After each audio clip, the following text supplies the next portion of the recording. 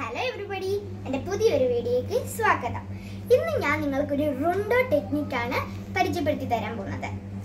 അപ്പം നിങ്ങൾക്ക് എല്ലാവർക്കും ഇംഗ്ലീഷ് ഒരു ഡു എന്ന് പറഞ്ഞ ഒരു ഇംഗ്ലീഷ് വേർഡിൽ അത് എവിടെയൊക്കെയാണ് യൂസ് ചെയ്യേണ്ടത് എങ്ങനെയൊക്കെയാണ് യൂസ് ചെയ്യേണ്ടതെന്ന് ഒരു ചെറിയ കൺഫ്യൂഷൻ ഉണ്ടാവില്ലോ. അത് എന്റെ അത്രയുള്ള ആൾക്കാർക്ക് ഉണ്ടാവും എന്നെക്കാളും വലിയ ചേച്ചിമാർക്കും ചേട്ടന്മാർക്കും അങ്കിൾമാർക്കും ആന്റിമാർക്കൊക്കെ ഉണ്ടാവും. ഒരു ചെറിയ കൺഫ്യൂഷൻ മാറ്റി തരാനാണ് ഞാനിപ്പോ ഈ വീഡിയോ വീഡിയോയിൽ കാണിക്കാൻ പോകുന്നത്. അപ്പൊ നമുക്ക് വീഡിയോയിലോട്ട് കിടക്കാം. ഈ റുണ്ടോ ടെക്നിക്ക് നിങ്ങൾ ഓർത്തു വെച്ചിരുന്നാൽ നിങ്ങൾക്ക് ഡു എങ്ങനെ യൂസ് ചെയ്യണം എവിടെ യൂസ് ചെയ്യണം എന്നൊക്കെ മനസ്സിലാവും. ഓക്കെ അപ്പൊ നമ്മൾ ഇങ്ങനെ പറയത്തില്ലേ do you drive do you eat do you see do you play do you swim do you bark?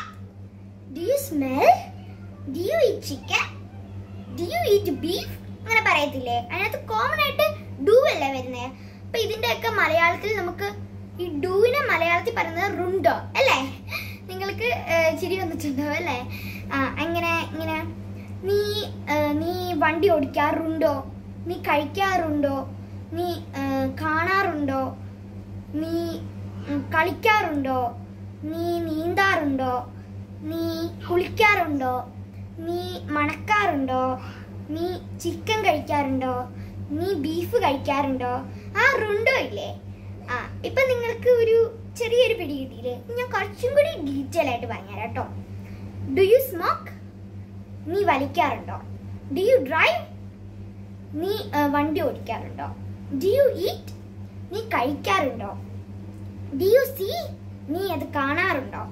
Do you play നീ കളിക്കാറുണ്ടോ? ഡു യു സ്വിം നീ നീന്താറുണ്ടോ?